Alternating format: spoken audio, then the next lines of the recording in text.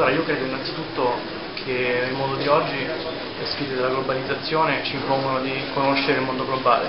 quindi di agire consapevolmente ogni giorno della nostra vita, quindi significa conoscere i prodotti, prodotti che compriamo, significa conoscere da dove vengono, chi li fa, come li fa. E quindi questo significa essere cittadini consapevoli, se posso permettermi diciamo 2.0 per usare un'espressione molto in voga oggi. E, e, quindi credo che si debba cercare di, di, capire innanzitutto chi è il tuo prossimo, sia quando è dall'altra parte del mondo, sia quando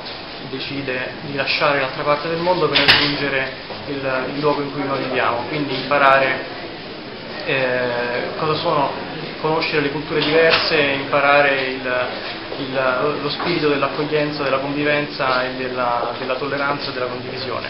E credo che tutto questo passi attraverso la, la, conoscenza. Io nel mio piccolo con questo lavoro ho voluto aprire una finestra su uno spaccato che è, è invisibile al giorno d'oggi, perché noi consideriamo i migranti come un problema che parte da Lampedusa, mentre invece i migranti sono innanzitutto una risorsa, ma sono comunque